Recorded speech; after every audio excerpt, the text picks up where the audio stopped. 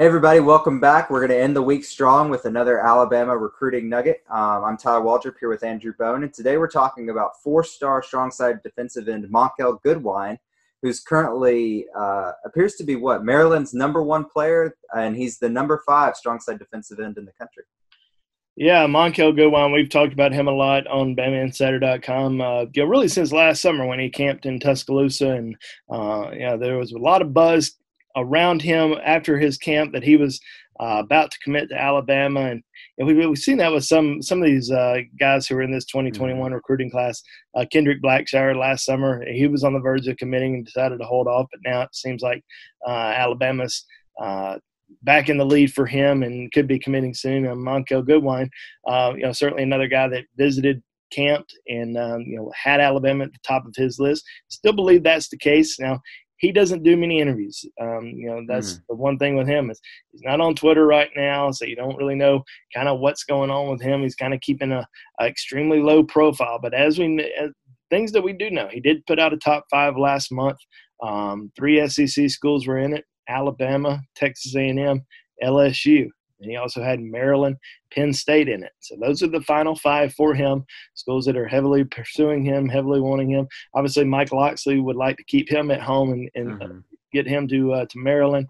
Um, LSU has started to have some success uh, in the D.C. area, uh, the D.C., Maryland, Virginia area, but uh, Alabama is the program that has probably had the most success there uh, over the course of the last decade. Um, you know, just all the guys that they've recruited from the, from the area uh, who've come in and had a tremendous amount of success, and uh, you know, certainly a uh, you know another guy that you know they're hoping to to pull in. I mean, he is a uh, pre, you know premier target for them, a guy that um, you know we all believe has Alabama at the top of his list as of right now. Now, not really sure when he's going to make that decision. He, has been kind of quiet uh, on that front. Um, you know, we thought maybe he was going to decide in the spring. Uh, he was expected to come back down to Tuscaloosa for junior day. That didn't happen. Mm-hmm. Then he mm. said he was going to come back for the spring game. Obviously, the spring game was canceled because of COVID, but um, you know we'll see when he you know when he does decide to make some more visits uh, or when he can make some more visits. I think he wants to take some more trips before that decision happens, but uh, but he's certainly a guy that Alabama is uh, is heavily pursuing uh, you know, led by Charles Huff, uh, Alabama running backs coach who recruits the area. Holmon Wiggins also does a great job kind of recruiting the area. They kind of tag team uh, in that regard. So you know, we'll just have to kind of wait and see. But he's a uh, you know big defensive end. He's six foot four, about 265 pounds right now. Um, you know, could end up growing into uh, you know 290, 300 pound defensive lineman before it's all said and done. You know, potentially see him as a, a Jonathan Allen, a Quinnen Williams type player mm. uh, down the road because that, that, that's what you know that's kind of the size of those guys. Uh, what those guys were coming out of high school. So uh, you don't know how much bigger he's going to get until he gets there. Mm-hmm. Uh, once he develops, and um, but yeah, I could easily see him carrying um, you know 25, 30 more pounds uh, pretty easily. Yeah, and you mentioned the thing that stands out to me is you mentioned that he was planning to come for that spring game, and we've talked a lot about how the in, the shutdown of in-person recruitment has affected Alabama's sort of targets. A lot of these guys have uh, maybe were planning to commit in June or July after they took some visits, and now they don't know that you know they, they want to wait till they can get some of these visits in.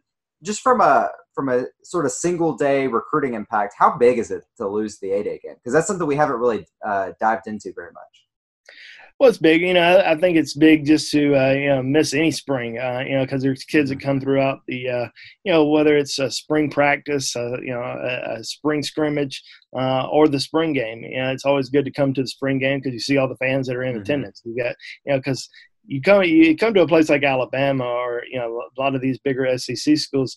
Um, recruits are known. Uh, you know, mm-hmm. fans know who these recruits are, and they're taking pictures, they're signing autographs, they're doing all this stuff that they don't normally do at other at other programs that they visit. Mm-hmm. And uh, you know, that's kind of something that always stands out to them is just the, the amount of uh, people who know them uh, just by seeing their face because they follow them, um, you know, on Twitter, they follow them on on Rivals, uh, on you know whatever it may be. Uh, so I think that's something that really impresses recruits, um, you know, especially when they visit a program like Alabama, just because of uh, all the fans and, and how obsessed they are. And uh, you, you go to an Alabama spring game and you see just you know so many fans that have filled the stadium just to come to uh, just the spring game. So uh, yeah, I think that hurts a little bit, you know, not being able to do that. But I think you know, just overall, not being able to visit at all um, mm-hmm. throughout the spring, uh, during the summer. Hopefully, you know, things may get back to normal. Maybe there's going to be a time period in the month of July where recruits are able to visit, which is going to be if that happens, that's going to be extremely crazy, extremely mm-hmm. hectic because there's going to be there's going to be recruiting battles going on then, trying to get kids to come to uh, your cookout or your your you know whatever event you're going to call it. Uh, if you only have a short window, you know you may have Alabama and Georgia fighting for uh, you know this kid to come to their event. Mm-hmm um, and uh, or Alabama going up against Texas or whoever it may be, because all these programs are going to try to have something if they can uh, in the month of July before the season starts, and hopefully, uh, you know, get some of these guys to make decisions. Because you know, like you said, you know, a lot of these guys are having to push back their plans. They're you know they were going to visit uh, during the spring, during the summer, and then hopefully make a decision before before their senior season. Well, none of those visits happened. So you know, kids are having to decide, well, should we go ahead and make a decision or should we wait until the fall and take those visits? So, you know, it's kind of 50 50 for a lot of kids right now. We're just not sure what's going to happen, but, um, you know, hopefully there is going to be a time period, maybe in the month of uh, July, where kids can take some visits and, um, you know, hopefully get to the get to their top programs, uh, you know, at some point before the season starts. Yeah, absolutely. July or, or even August or, you know, whenever whenever we get to that point where where some in-person recruiting is, is able to happen again, it's it's going to be crazy for coaches and and these kids. To, to get back to Goodwine, you know, you mentioned these. He doesn't do much. He doesn't do a lot of interviews, and he did, but he did release a top five. Does Maryland stand out as, as maybe one of the, the teams that's going to give Alabama the biggest run for their money with his commitment, or, or or do we know? Is it is it kind of just up in the air because he doesn't talk a lot about it?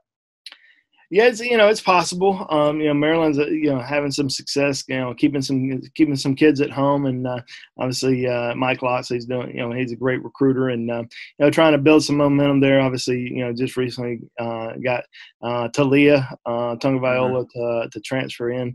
So you know, and they they've been able to get some, like I said, keep some kids at home, some top kids at home.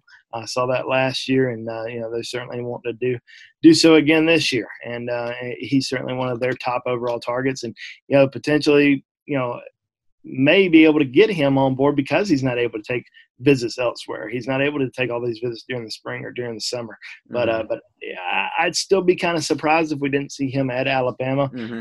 Uh, I just think that Alabama's you know continue to push hard for him. Now you know, where we may see something change is if Alabama starts to get some more defensive end mm-hmm. uh, commitments. Now, uh, you know, they're still trying to, you know, get some defensive end commitments on board right now. And there's some top guys that are out there that they're heavily recruiting. Shemar Turner out of Texas, uh, Chambry Jackson uh, out of Orlando.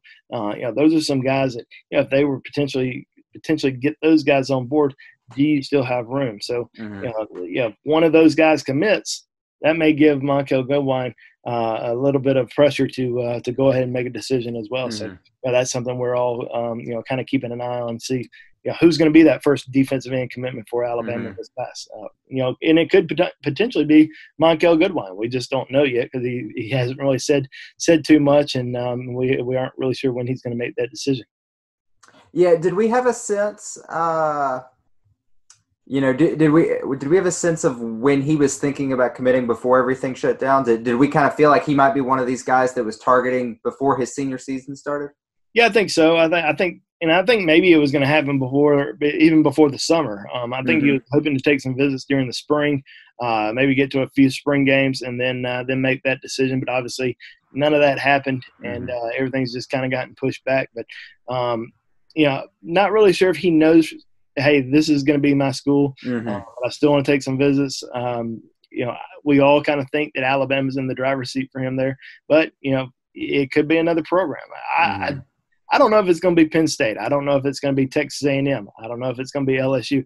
I think pro, I, if I had to put two schools up there, I would say probably, uh, you know, Alabama and Maryland, just mm-hmm. because mm-hmm. of you know Alabama being the you know kind of considered leader for him for such a long time. And then I would say Maryland, just because uh, you know in-state guy um, hasn't been able to really take many visits, um, and Mike Michael Locksley do, doing such a great job uh, recruiting up there. So that would just be my personal mm-hmm. opinion.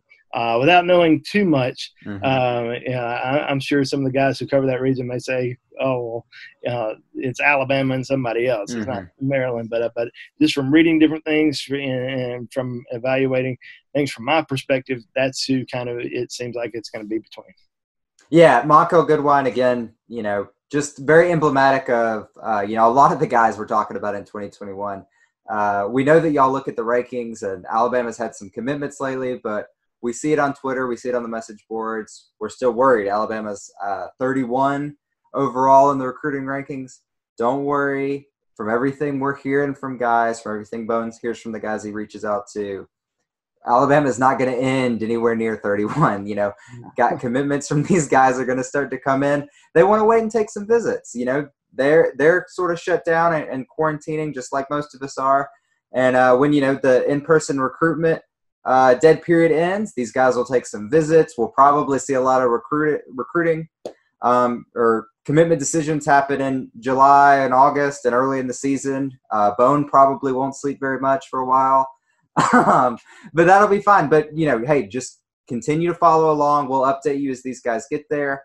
Uh, do me a favor and click subscribe to our YouTube channel uh, right now if you're not already. Make sure the notifications are turned on, guys, uh, so you get these videos. And so when Bone has his Q and A's, you know, you know when that happens, and you can ask a question. Or when these guys commit, we're going to put those up right away, and you want to hear about it from us. You don't want to hear about it two days later and be the last one to know. So just continue to follow along with us, and we'll keep y'all updated.